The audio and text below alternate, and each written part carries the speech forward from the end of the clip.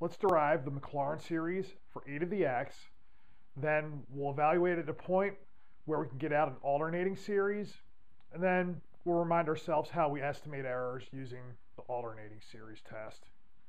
So, Maclaurin series for f of x equal to e to the x. That means our center. Maclaurin means center is x equals 0. We're going to have our Taylor coefficient formula, a sub k equals k through root of f evaluated at 0 divided by k factorial. When I get all these terms, we're going to load them into a power series as so. Okay, so in this case, doesn't matter how many times you take the derivative of e to the x, the answer is always e to the x. So if I put a 0 in here, we're going to have e to the 0, and so the kth derivative of f evaluated 0 is going to be 1 for all k. So we put that into our Taylor coefficient formula, I'm going to wind up with a sub k equals 1 over k factorial. Let's figure out the interval of convergence. So we're going to have ratio test. Go take the limit of our n plus first term in the series and put it over the nth term. So the x sub n's, they're going to cancel, leaving me with just an absolute value of x. And then what do we have here? This is 1 over n plus 1 factorial. This is 1 over n factorial, which we can think of as flipping to the top. And so remember, n factorial is product of all numbers from 1 through n. So n plus 1 factorial is going to be product of all numbers 1 through n plus 1. So all the numbers from 1 through n cancel away, and then I'm just going to be left with an n plus 1 in the denominator. We take this limit. x is just going to be a number, so pretend it's 2 or 3 or your favorite number. Point is going to be n plus 1, no matter what number you picked, drives you down to 0. So since this is 0, ratio test just checks, is your answer strictly less than 1? In this case, it will be, and it had no, this was not affected at all by what x that you chose.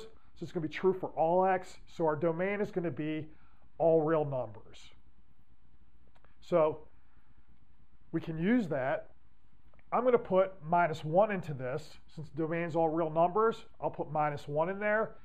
That's going to give me, let's follow it out. This is 1 minus x. This is going to be x squared over 2. This is going to be x cubed over 3 factorial. So x cubed is minus 1. And then we just keep pushing it out with factorials in the bottom. And then we just alternate the minus signs. Now, this is an alternating series. So the rule for alternating series is going to be, if you want to estimate the error, say if I take the first n terms, so here we're going to take everything up through the 120 for the partial sum. The error is just going to give, be given by a bound from the term that comes after your last term. So in this case, if I want this partial sum, then I can bound the error by 1 over 720. So I take these first six terms, we add them up, we get 0.3667 rounded, and then the error is going to be less than 1 over 720, which is going to be roughly 0.0014 rounded. Okay, I go to my calculator. e to the minus 1 is going to be 0.3679. So let's see, our bound tells us that our answer is going to be in the interval, we take 0.673667 as the center, and I add plus or minus 0.0014 to that. So let's see what we get. If I subtract it off, we get 0.3653. If I add it, I get 0.3681. So you notice our 0.3679, which is the real answer, winds up being in our interval. So our guess and our error are going to definitely nail down the actual answer. Okay, with that, well, we're using this as our guess, so we can also use this to get an estimate for E. So all I have to do is take that and flip it over, and that's going to give me 2.727.